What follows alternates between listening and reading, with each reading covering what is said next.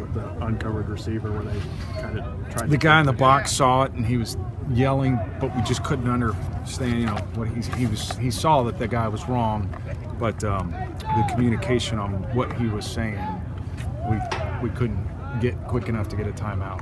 You know what I'm saying? But we do have a guy that watches that, and he did see it, and he did communicate it, but uh, he just didn't communicate it the right way, quick enough for us to get a timeout. So. What did he say?